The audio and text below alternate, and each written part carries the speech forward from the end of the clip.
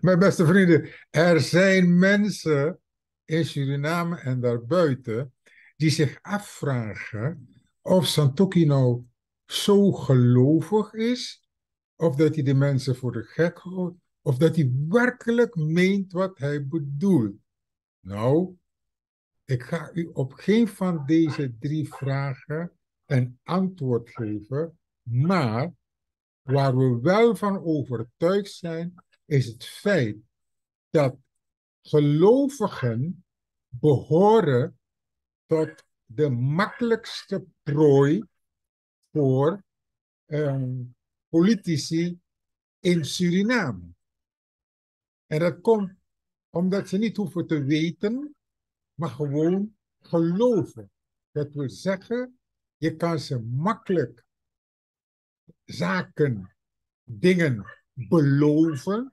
Of je ze nakomt of niet, dat is niet het probleem. Maar je kan ze zoveel beloven en dan kan je rustig verwachten dat deze mensen bij de volgende verkiezing voor jou stemmen.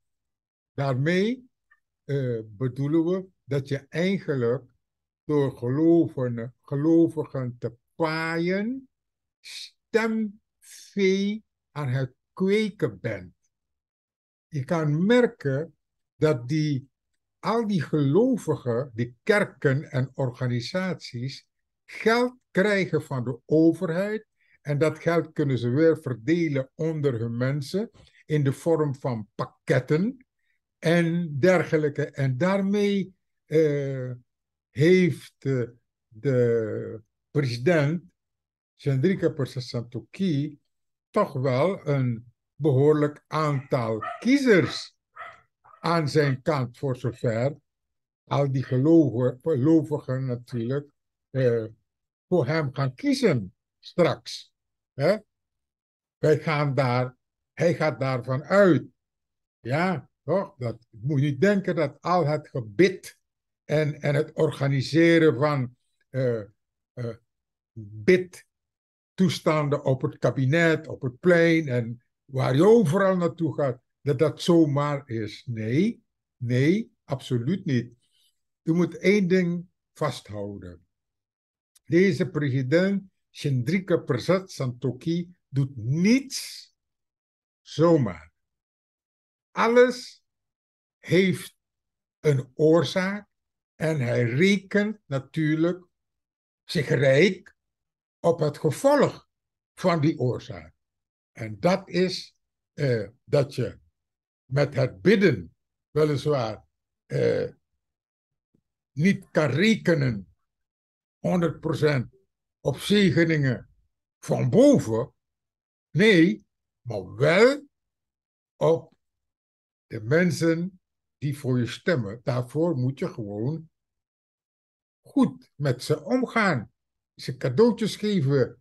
Het volk houdt van brood en spelen. En wanneer dat in orde is, dan komt de rest ook wel. Wij zijn een goed gelovig volk, wat heel makkelijk achter de staart aanhoudt, die zwaait met pakketten, met geld. U kent dat wel, hè? Het zwaaien met geld. Het wordt zelf gestrooid, vanuit de lucht gestrooid. Het wordt met, uh, met bladblazers in de lucht geblazen en mensen duiken erop af. Mijn beste vrienden, wanneer ik dit zo zeg, dan zeg ik het allemaal met een knippel, want u weet,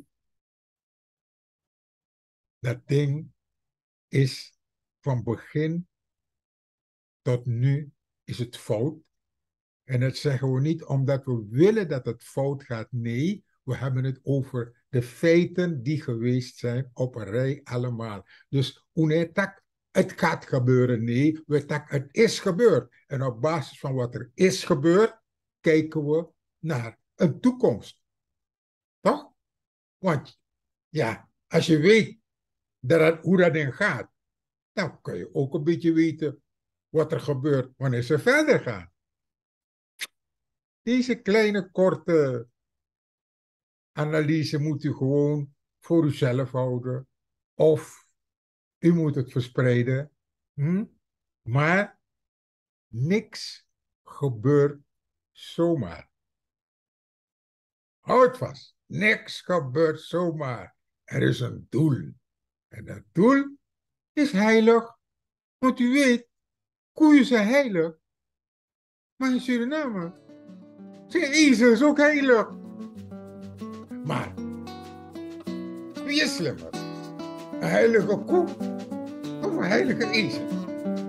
Ik laat die vraag hier. Tot later.